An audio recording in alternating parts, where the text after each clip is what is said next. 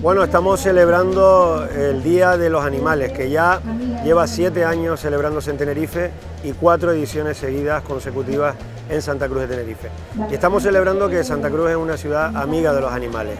Están participando en este día muchas entidades protectoras de animales, gente a título individual que trae a eh, sus animales que son miembros de su familia y que los traen este día aquí pues, para participar, para celebrar que esta ciudad respeta, quiere y defiende los derechos de los animales. Hay muchos que tenemos animales en casa, que forman parte de nuestra familia y que para nosotros el Día de los Animales es todos los días del año porque los queremos y porque los protegemos. Hoy celebramos en Santa Cruz la séptima edición del Día de los Animales porque Santa Cruz es una ciudad amiga de los animales y estamos haciendo muchas cosas en su favor.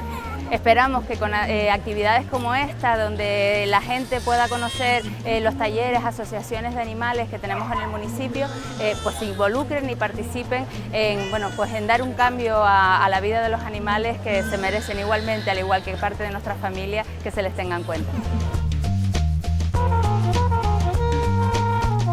Estamos de verdad contentos por la cantidad de gente que ha venido, la cantidad de animalitos que han pasado por aquí.